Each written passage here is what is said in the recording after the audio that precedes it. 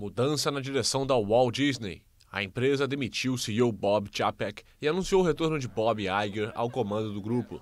A mudança em um dos maiores conglomerados de mídia e entretenimento do mundo se tornou efetiva de maneira imediata.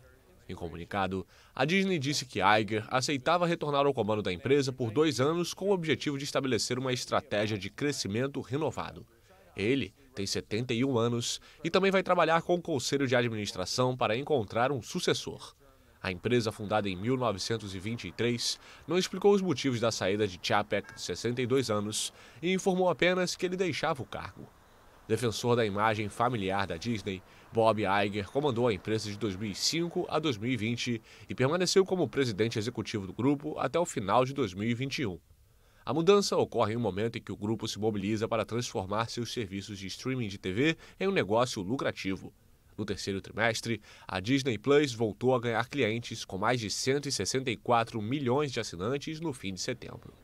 Mas plataformas de vídeo sob demanda do grupo registraram um prejuízo operacional de quase um bilhão e meio de dólares.